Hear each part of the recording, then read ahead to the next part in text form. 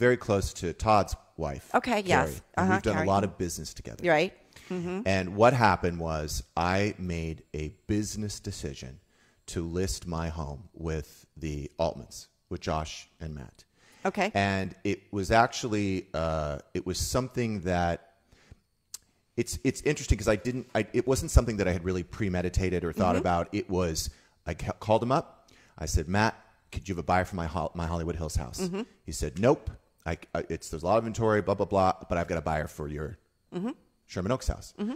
I had it on as a pocket listing, so I didn't expect to formally list it where it would become public. I see. But what happened was is that I felt like we really should probably expose this to as many people as possible. It, and we had someone interested. It also would put pressure on that person that was interested in the house. Yes. Okay. So by d- this all ended up being the right decision for me because by doing that, the house we had an accepted offer within five days. We now have a backup offer. So it's it, it it- was it was the right professional business, Business, uh-huh. financial decision for me. Okay. Okay. Now, I I, um, I understand my sister in law, who is she's probably had eighty percent of my business. That uh, was hurtful to her. She felt like mm-hmm. I went behind her back. She felt like I didn't communicate. I mm-hmm. really tried to explain that literally all this happened like in seven days. Right. And you know, maybe I and I apologize for not giving her heads up, but right now she's upset with me. Mm-hmm. She feels betrayed, understandably so.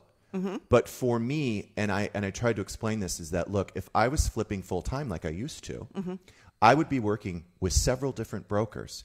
You have been very fortunate in that over the last several years, you've had the majority of my business. You've had the majority of the pie. But I'm not obligated to list my home with you. And by the way, she had the she has the other listing. Okay. Let me ask you a question. Did you ask Carrie? Did, did you ask her to list this at all? Well, I had said to her on several occasions mm-hmm. that I would be interested in selling. Okay, Yes. so what happened was, is uh, she would check in with me, and I'd say, "Well, I don't want to sell it till after the guest house is finished." And then Matt Altman said to me, "No, we'll put two prices on it. One with plans and permits for the guest house. Yes. Another price, you'll do it for them." And that's what happened. Okay. You have to you have to own 100% of responsibility, right? I see part of the problem in communication. Well, something did. I did say something. Uh-huh. I did say one thing. What what's the one thing you said? Well, as I was explaining all of this, um, which I didn't appreciate, um, it she said to me, "I'm, uh, you know, I." mm, sh- mm, How do I say this? She just started talking about the pressures she has at home with the kids and homeschooling and all of that. And at that point, I was like, I don't give a shit about what's happening at home. This is my business. This is my money. This is my finances. Like this is a financial decision. Mm-hmm. Then she said, I'm really hurt that mm-hmm. you just said that to me. Mm-hmm.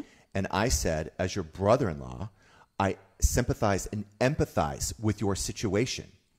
But as a businessman, this is a decision I need to make for my business. So it's two separate things in my mind. Two days after that fight, right? And it was mm-hmm. the 33 minute, got heated conversation. Mm-hmm. She initially canceled coming to Monroe's birthday because we had just a family, mm-hmm. 14 people, whatever, outside. Um, she initially canceled. Yes. And then, and I, which I expected, that morning, Saturday morning, she called and she said, "Is there a possibility that that I could still come to the party?" Good. And I said, "Absolutely, you're always welcome."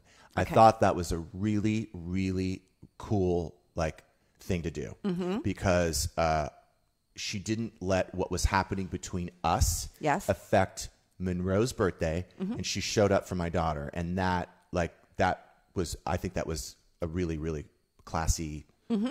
thing to do. And she, you know she's aware of the the financial situation. I'm two I'm holding two very expensive houses. Mm-hmm, mm-hmm. Uh, the other one is not moving, mm-hmm. and there's a lien hanging over the house, uh, which I don't want to pay that lien because in a way for to me it's legalized extortion. And I don't want to give in to that.